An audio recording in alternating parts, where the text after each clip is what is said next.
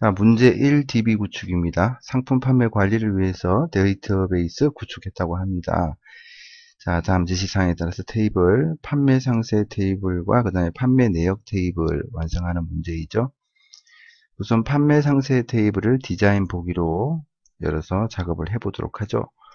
판매 번호, 상품 코드, 판매 번호와 상품 코드는 기본 키, 그 다음에 두 번째는 상품 코드 필드에는 네 글자의 영문 대문자 또는 숫자가 필수 입력되도록 입력 마스크. 자, 네 글자의 영문 대문자 또는 숫자가 필수 입력되는 자, 이렇게 해주면 되죠. 입력 마스크 문자는 A를 사용하면 되고, 음, 여기서 좀 실수할 수 있는 부분이 영문 대문자라고 했기 때문에 자 이렇게 하면 그냥 영문자가 입력이 되고 대문자를 입력하기 위해서 크다 부동호를 넣어줘야 되겠습니다. 부동호 입력해서 영문 대문자 또는 자 이 부분이죠. 이건 이제 영문자 숫자 다 필수 입력되도록 하는 입력 마스크 문자이니까요. 그 다음에 세 번째는 수량 필드에는 0보다 큰 값만 입력되도록 설정하고 이것은 값을 규정하는 것이기 때문에 유효성 검사 규칙에 규칙을 설정해 주고 0 이하의 금액이 입력되는 경우 수, 수량은 0보다 크야 합니다. 마침표는 없죠. 이렇게 지정을 해주면 되겠습니다. 그 다음에 새로운 레코드가 아, 이건 여기까지 판매 상세 테이블에 관련된 내용이고요. 어, 닫고 이제 얘는 저장을 해줘야 되겠죠. 어, 왜냐하면 이제 그 뒤쪽에 이제 판매 내역 테이블에 대해서 작업을 하는 것이니까요. 자, 이번에는 판매 내역 테이블을 디자인 보기 모드로 열고요. 자, 새로운 레코드가 추가되는 경우 매출 일시 필드에는 기본적으로 시간을 포함하는 오늘 날짜만 입력되도록 설정하고 음, 시간이 포함되도록 하려면 기본값에 데이터 함수가 아니고 now 함수를 사용해 줘야 되죠. 현재 시스템의 날짜와 시간이 다 나오는 부분이니까 음, 이렇게 데이터 어, 기본 값을 설정한 다음에 그 다음에 이제 그 이 매출 일시 필드에 대해서 표시에 나온 것처럼 데이터 어, 형식을 지정해 줘야 되겠죠. 이렇게 눌러 보면 음, 얘랑 동일하죠. 어, 그렇죠. 자, 얘랑 동일합니다. 그래서 기본 날짜 형식을 지정해 주면 되겠습니다. 그 다음에 이제 마지막에 비고 필드를 어, 추가를 해주고요. 그 다음에 얘는 데이터 형식이 메모가 되도록 이렇게 저장해 주면 되겠습니다. 그 다음에 두 번째 문제는 2009년 신상품 테이블의 데이터를 쿼리 디자인에서 작업해 줘야 되겠죠. 2009년 신상품 테이블의 데이터를 쿼리 유형은 추가 쿼리 이용하라 라고 했고요. 이것을 상품 정보 테이블에 추가해라 이렇게 얘기를 했습니다. 어, 발주 가능과 그 다음에 납품처 필드는 추가 대상에서 제외해라. 상품 코드, 상품명, 원가 얘와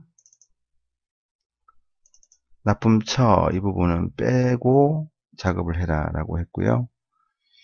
음 근데 어, 발주 가능 필드가 Y인 레코드 만 추가하시오라고 했기 때문에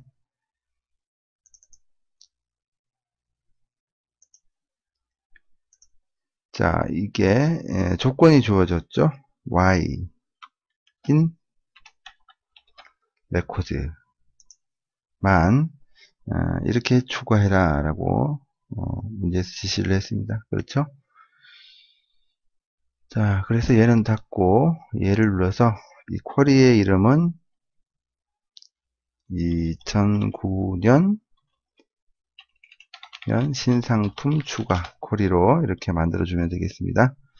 그 다음에 판매 내역 테이블에 판매 내역 테이블 디자인 보기를 열고 어, 다음과 같이 조회 속성을 설정해라. 판매 내역 테이블에 결제 수단 얘를 어, 콤보 상자의 형태로 나타내도록 설정을 하고요. 행 원본 음,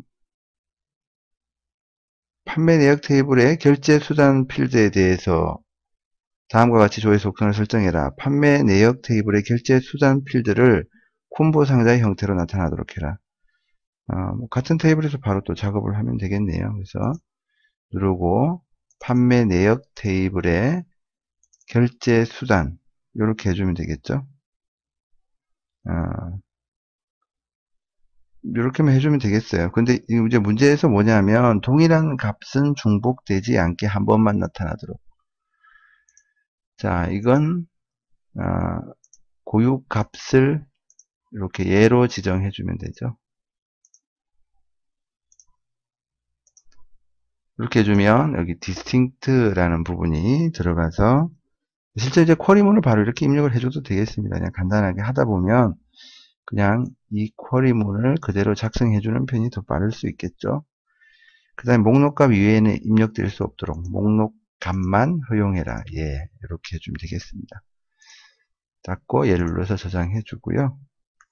그 다음에 큰 문제 2번 입력 및 수정 기능 구현의 첫 번째 문제 상품 정보 조회를 위해서 상품 정보 폼을 디자인 보기 모드로 열어서 어, 다음의 화면과 지시사항에 따라서 완성을 해라.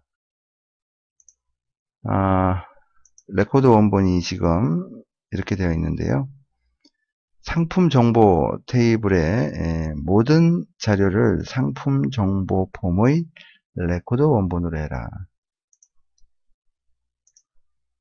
상품 정보 폼의 모든 자료 이렇게 처리하면 되겠죠. 그럼 이런 형태로 처리가 될 것입니다.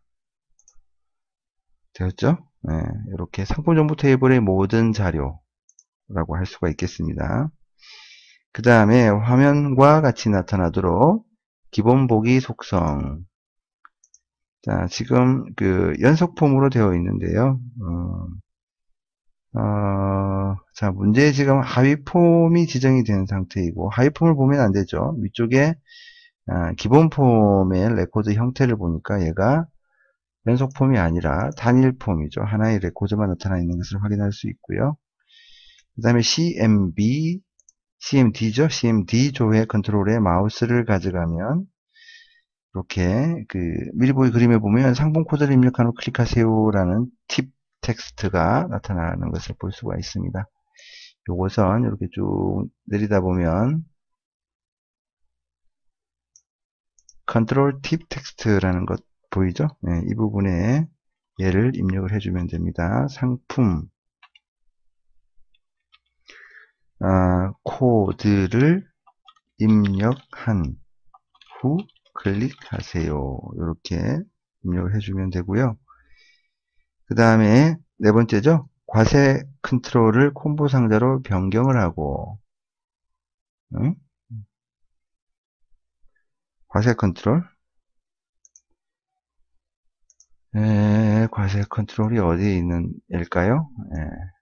에, 얘네요. 그죠? 얘를 이제 콤보 상자로 변경을 하고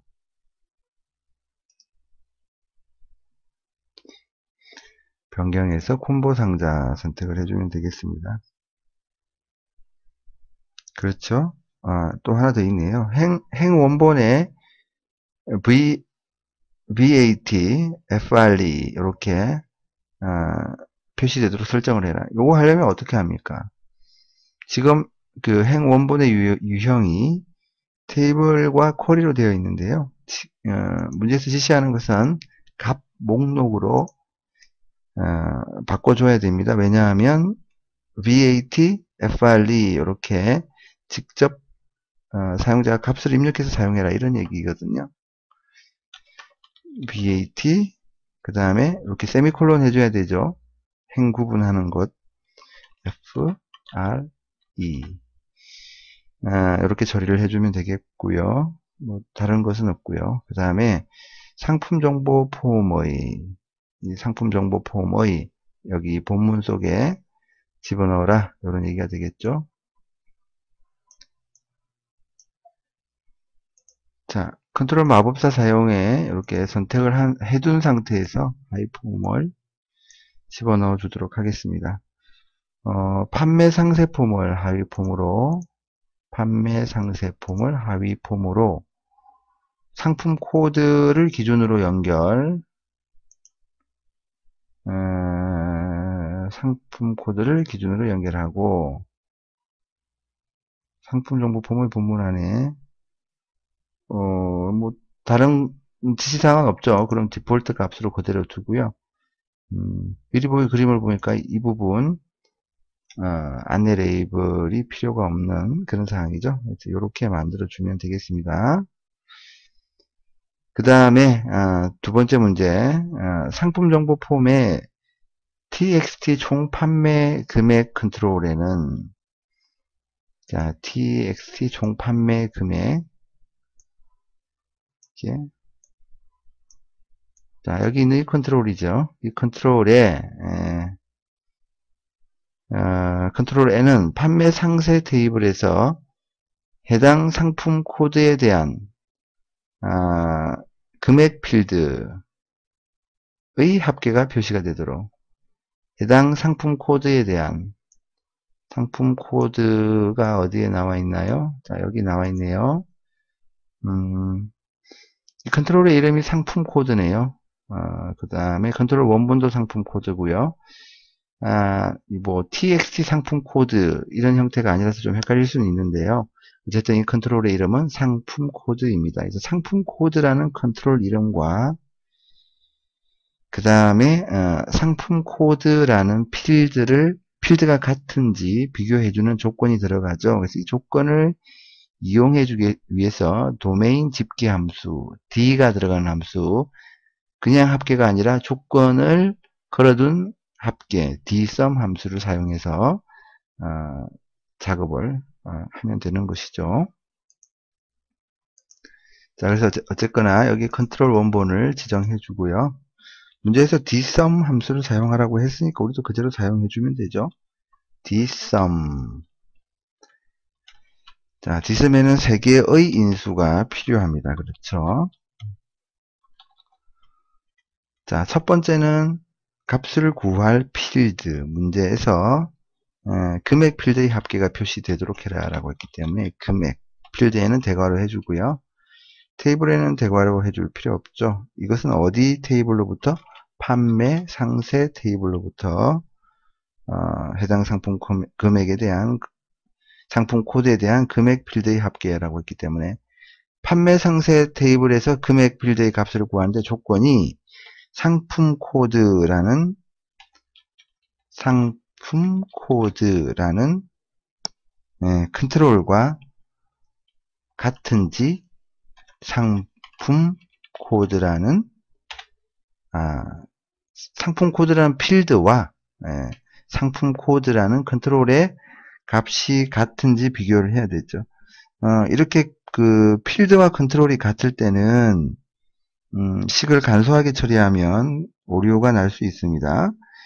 아, 그래서 그 이럴 때는 우리가 알고 있는 어, 정확한 식 상품 코드가 어, 데이터 형식을 보니까 텍스트 데이터 형식이네요. 그러면 필드와 컨트롤을 조건식에서 조회식에서 검색할 때 어떻게 합니까? 이렇게 예, 그 컨트롤 이름에다가 작은 따옴표를 해주죠. 그죠? 그 다음에 컨트롤을 제외한 나머지는 큰 따옴표로 둘러싸고 and 해주고. 자 똑같은 것이죠. 지금까지 했던 것과. 형태가 이제 어, 안쪽으로 들어와서 좀 헷갈릴 수는 있는데요. 어, 지금까지 해왔던 것과 똑같습니다. 이렇게 처리를 해주고 확인 눌러주면 되겠죠 그 다음에 예, 얘는 닫고 얘를 눌러서 저장하고요 판매 내역 상세, 판매 내역 상세. 자, 이 폼이 있는데요. 이 폼의 수량. 자, 얘죠. 아, 이 컨트롤의 값을 변경하면 다음과 같은 기능을 수행하도록 이벤트 프로시저 만들어라. 이것에 대한 이벤트인데요. 음, 아래쪽에 보니까 after update 이벤트 이것에 대한 이벤트 프로시저를 작성해 주면 되겠습니다. 음, tx 수량 컨트롤의 값이 변경이 되면 이런 값이 입력이 되고 뭐 이런 식으로 어, 이벤트를 작성해라 프로시저를 구현해라 이런 얘기가 되겠습니다.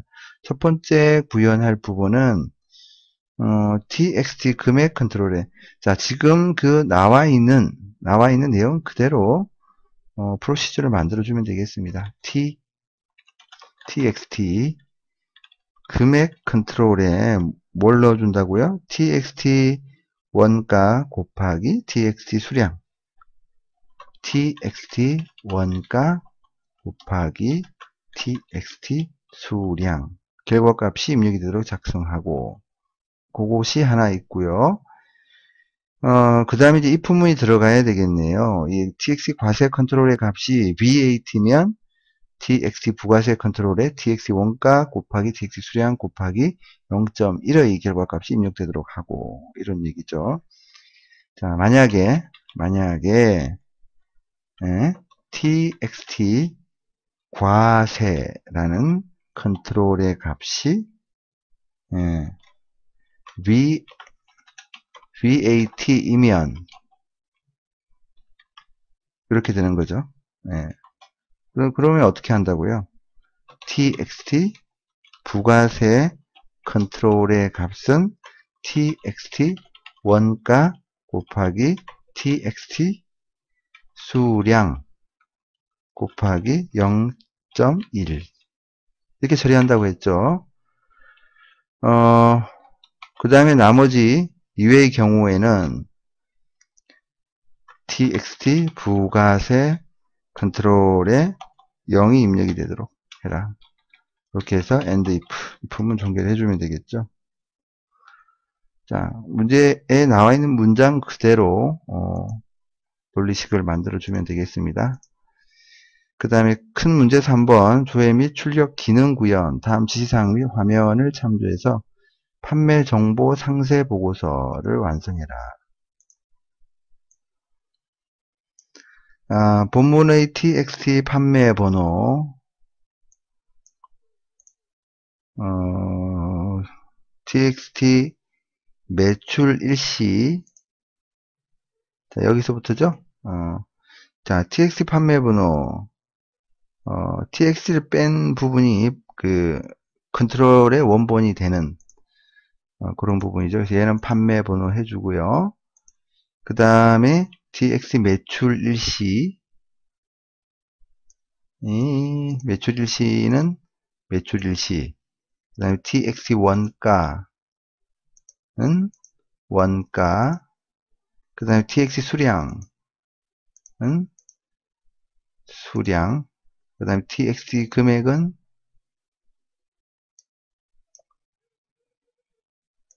금액은 금액. 그 다음에 txt 부가세는 부가세. 부가세 예. 됐죠? 값이 표시돼도 설정을 했고요. 컨트롤 원본 지정해 줬고요. 그 다음에 본문의 txt 수량 컨트롤의 값이 본문의 자 txt 수량 컨트롤의 값이 어, 5보다 큰 경우에는 이게 이제 진하게 표시가 되도록 아, 자, 요거 이제 조건부 서식을 이용해서 작업을 처리를 해주면 되겠죠. 자, 그렇다면 형식 탭에 가면 조건부 서식이 있고요. 새로운 규칙을 만들어 줘야 되겠죠. 여기 문제에서 지시사항이 보면 어, 자 컨트롤의 값이 5보다 큰 경우라고 했으니까 필드 값이 다음 다음 값보다 큰 뭐보다 5 이렇게 해주면 되겠죠. 어, 이렇게 한 다음에 에, 진하게 얘가 진하게 굵게를 얘기를 하는 것이죠. 음, 진하게 표시되도록 굵게 표시되도록 지정을 해서 확인 눌러주면 되겠죠. 확인 음, 됐고요. 이렇게 지정해 주면 되겠고요. 그 다음에 상품 코드 머리글에 txt 상품 표시 여기 이 컨트롤에는 상품명과 상품 코드 필드를 표시해 있는 것을 보니까 상품명 괄호 열고 상품 코드 괄호 닫고 상품명 필드와 상품 코드를 그대로 불러와서 어, 상품 코드에만 괄호를 어, 입력하는 그런 형태로 컨트롤 원본을 지정해 주면 되겠습니다. 자, 식에서 우리가 필드가 들어갈 때는 대괄호, 그 다음에 어, 자, and가 필요하죠. 왜 필요하냐면 텍스트와 연결하기 위해서 여기서 텍스트가 뭐예요? 큰 그 괄호 괄호 그래서 괄호는 텍스트 문자이기 때문에 어떻게 큰 따옴표로 둘러싸야 된다. 식과 연결하기 위해서 역시 and가 필요하고요. 어, 상 상품 코드라는 필드도 필요하죠. 또 하나 and 붙고 닫는 괄호. 자, 됐습니까? 이렇게까지 처리를 해주면 되고요. 그 다음에 다음 장으로 넘어가서 본문의 txt 번호 컨트롤은 본문의 txt 이 번호 컨트롤은 해당 그룹 내에서 일련 번호 표시되도록 많이 했던 것이죠. 컨트롤 원본은 는 1로 해주고요. 누적 합계 부분을 그룹으로 처리해주면 되겠습니다. 그 다음에 상품 코드 바닥글에 txt 전체 합계 아, 이 컨트롤에는 금액 필드의 합계 자 금액 필드의 합계니까 SUM 함수로 금액 필드의 합계를 구해주면 되겠죠. 이렇게 해서 확인 눌러주고요. 음, 자, 그 다음 두 번째 문제는 일단 얘는 닫고 예를 들어서 저장하고요. 두 번째는 상품 정보 폼의 상품 정보 폼의 아, 조회 CMD 조회 이 버튼을 클릭하면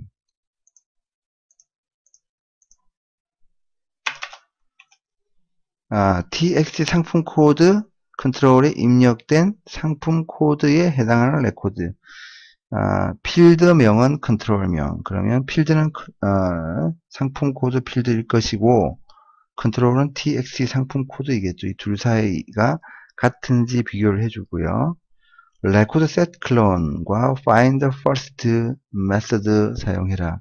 그럼 북마크도 들어가야 되겠네요. 그러면 현재 폼 Me점 Record source 아, Recordset Clone이죠. Recordset Clone 아, 레코드 원본의 클론 복사판 아, 를 얘기를 하는 거죠. 클론의 클론의 find first f-i-r-s-t first 메서드니까 는 하면 안 되고 한 칸 띄우고 상품 품 코드 컨트롤과 이제 바로 합니다. 같은지 비교를 해주죠. txt 상품 코드 컨트롤이 같은지 자 이렇게 비교를 해주고요.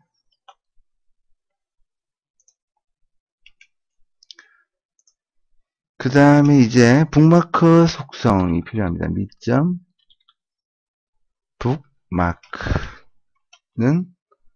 북마크를 어디다 꽂아줘야 돼요? 바로 레코드 원본 복사한 곳 위에서 복사했죠? 그곳에다가 북마크를 어, 꽂아주면 되겠습니다. 이렇게 처리를 하고요. 어, 저장을 하면 되겠고요. 그다음 밑에도 어차피 상품 정보 폼이니까 상품 정보 폼의 인쇄 버튼을 클릭하면 다음과 같은 기능을 수행하는 매크로, 매크로니까 얘는 일단 만들기 매크로 눌러서 어, 파, 판매 정보 상세는 보고서잖아요. 보고서이기 때문에 Open Report를 선택해야 되겠네요. 오픈 레포트 선택해주고 판매 정보 상세 됐죠? 그 다음에 미리 보기 예? 그것은 인쇄 미리 보기 얘기를 하는 것이고요. 매크로 이름은 어쩌고저쩌고 자 다른 txt 상품 코드에 입력된 아, 상품 코드에 대한 레코드만 조회를 해라. 이것은 지금 그 상품 정보 폼에 있는 그 txt 상품 코드 컨트롤과 그 다음에 상품 코드 필드가 같은지 그럼 조건문 들어가 줘야 돼요. 그죠? 비교할 필드는 상품 코드 필드죠.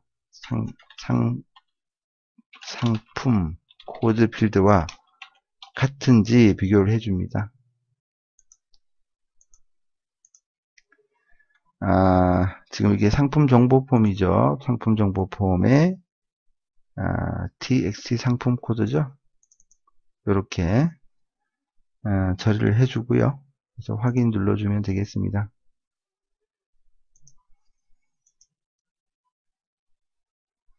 자, 이, 이, 아, 이 매크로 이름을 m 인쇄 이렇게 매크로를 만들면 되겠고요. 그래서 이 cmd 조회의 이벤트 프로시저가 아니고 m 인쇄 방금 만든 그 매크로를 지정해주고 저장해주면 되겠습니다. 그 다음에 처리 문제 4번 처리 기능 구현의 첫 번째 문제. 어, 판매 상세 테이블의 포인터 필드를 금액 슬러시 1000의 값으로 변경하는 업데이트 쿼리로 만들어라. 그러면 우선 판매 상세 테이블을 추가해주고 쿼리의 유형을 업데이트 쿼리로 만들어주고 어, 문제에서 업데이트를 실시해라 라고 한 어, 그 필드죠. 필드는 포인트죠. 포인트 여기 보면 포인트 어, 포인트 필드를 업데이트라 어떻게 금액 필드 나누기 1000 금액 필드 나누기 1000이죠. 아, 이렇게 해주면 되겠고요. 아, 그런데 이제 그 하나 더 있죠. 이, 이 금액 필드, 아, 금액 필드의 금액 필드가 5만 이상인 경우만 대상으로 하라라고 했기 때문에 조건이 들어가 줘야 됩니다. 크거나 같다 5만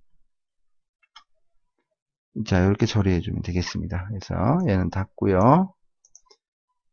이 쿼리의 이름은 음, 포인트 계산 이렇게 쿼리 이름을 만들어 주고 그 다음에 역시 화면 참조에서 두 번째 문제 다음과 같은 기능을 수행하는 쿼리 작성해라. 상품 정보와 판매 상세 테이블을 이용해서 아, 상품 정보와 판매 상세 테이블을 이용해서 작업을 해라 라고 했고요. 아, 상품 상품 코드별 자 무슨 뭐뭐 별 이 말은 Group By 묶으라 그룹절을 얘기를 하는 거고요. 뭐 또뭐 뭐 개수나 합계니까 아, 집계함수를 사용하려면 Group By 예, 여기서 말하는 요약 이것이 필요하다라는 것을 또 우리가 미루어 짐작할 수 있고요. 어, 그 다음에 이제 미리 보기 그림대로 필요한 것, 것들을 가져다 두죠. 상품 코드가 필요하고요. 그 다음에 상품명이 필요하고요. 음, 그 다음에 이제 판매 횟수라는 것을 우리가 이 판매 번호를 가지고 어, 한번 매겨 봅시다. 그 다음에 그 판매 수량이라는 것은 수량을 가지고 한번 매겨 보도록 하죠. 이제 여기 이제 다만 그 라이어스가 필요하죠. 별명이 판매 횟수, 횟수, 횟수 이렇게 그 다음에 수량 부분도 판매 수량 이렇게 얼라이어스가 필요하고요. 자 이제 요약하고 얘는 개수를 구하라라고 했고 얘는 합계를 구해라 이렇게 얘기를 했습니다. 그렇죠? 음, 이렇게 해서 실행을 한번 시켜볼까요?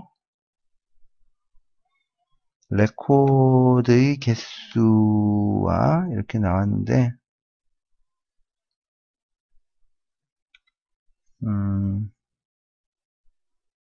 자 여기 어, 실수할 뻔했네요 또 이 판매가 한 번도 이루어지지 않은 상품도 표시되도록 설정을 해라 라고 했는데요 자 그 얘기는 지금 이 상품 코드끼리 얘를 어, 지금 이렇게 우리가 상품 코드끼리 연결을 했다고 하면 조인을 했다고 하면 이렇게 하는 이유는 여기서 판매가 한 번도 이루어지지 않은 상품을 표시되도록 설정하기 위해서 이렇게 하는 것입니다. 어, 그래서 상품 코드끼리 우리가 조인을 하고 두 테이블에 조인된 필드가 일치하는 행만 포함하면 생각을 해보세요. 두 테이블에서 일치하는 얘만 포함이 되면 판매가 한 번도 이루어지지 않은 그러니까 모든 정보가 포함이 되지 않는다라는 것이죠. 일치하는 애만 포함이 되니까 그럴 때는 자 두 번째 왼쪽 외부 join이라는 것을 left join이라는 것을 선택을 해주면 돼요. 그래서 상품 정보에서는 모든 레코드를 포함하니까 여기서 판매라는 것은 둘 사이 일치하는 것이 에, 판매가 한 번도 이루어지지 않았다는 것은 둘 사이에 일치하는 부분을 뺀 부분을 얘기를 하는 거죠. 그렇죠? 그래서 아, 얘까지 다 포함을 하려면 상품 정보에서는 모든 레코드를 포함해 버리고 판매 상세에서는 join된 필드가 일치한 레코드만 포함한다는 이 join 상태로 만들어 주면 되겠습니다. 다시 실행시켜 보면 아, 이런 형태로 나타나게 되고요.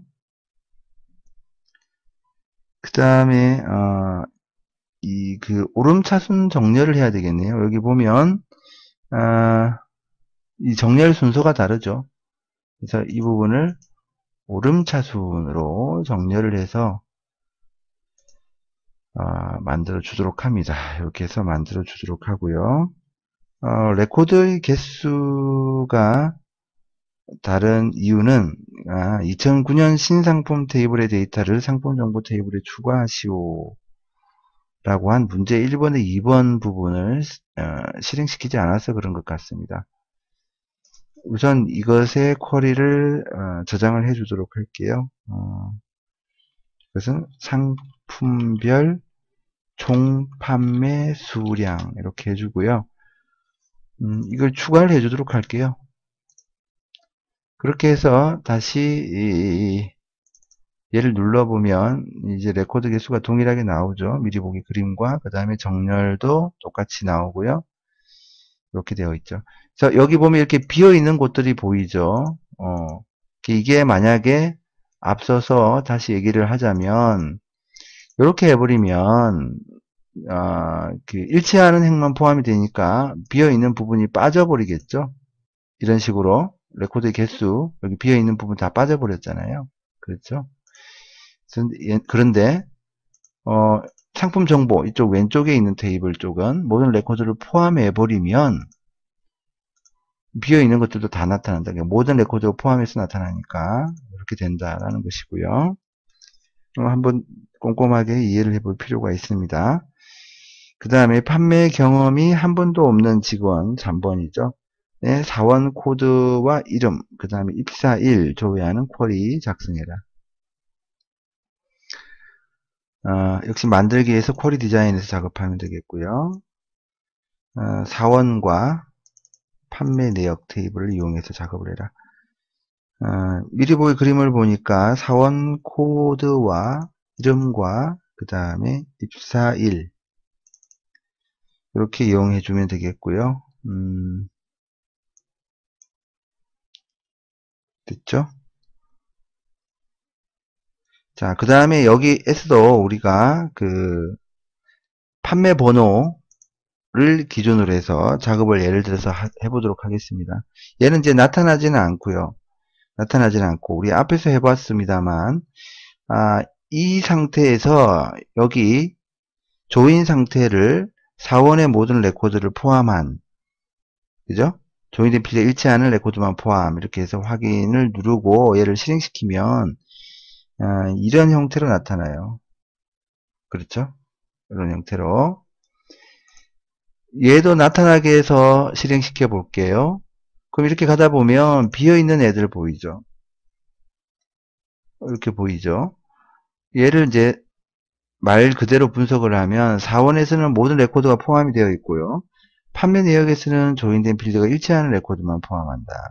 라고 했기 때문에 걔는 일치하지 않는다라는 얘기죠. 그러니까 비어있다는 얘기잖아요. 그러면 우리가 이 조건에서 비어있는 애들만 찾으면 is null, null값, 비어있는 그 레코드가 비어있는 그 값을 찾으면 여기 문제에서 얘기하는 어, 판매 미경험 사원, 판매 경험이 한 번도 없는 다시 말하자면 여기에서 판매 번호가 사원 쪽에는 있는데 판매 내역에는 내연 어, 판매 내역 테이블 쪽에 없는 그것을 우리가 판매 경험이 한 번도 없는 직원의 사원 코드다. 사원 코드와 이런 입사를 줘야 하는 콜이다. 이렇게 얘기를 하는 것이죠. 이렇게 해서 실행을 시켜보면 어, 비어있는 그 부분만 이제 검색을 하게 되는 것이니까 이 쿼리의 이름은 음, 판매 미경험 사원 쿼리가 되는 것입니다. 아, 그, 이, 이전 널을 이용하거나, 그 다음에 not in을 이용하거나, 이런 문제들이 쿼리 문제에 많이 나와요. 근데 이걸 이제 기계적으로 그냥, 어, 풀이를 하다 보면, 이 잘 해결이 안 되거든요. 그래서, 왜 그런지, 어, 왜 왼쪽 외부 조인을 해야 되는지, 또 어떤 때 안 해도 되는지를 꼼꼼하게 한번 머릿속으로 따져보고, 교재 그런 내용들이 아주 자세하게 나와 있습니다. 한번 따져보고 판단을 해보기 바랍니다.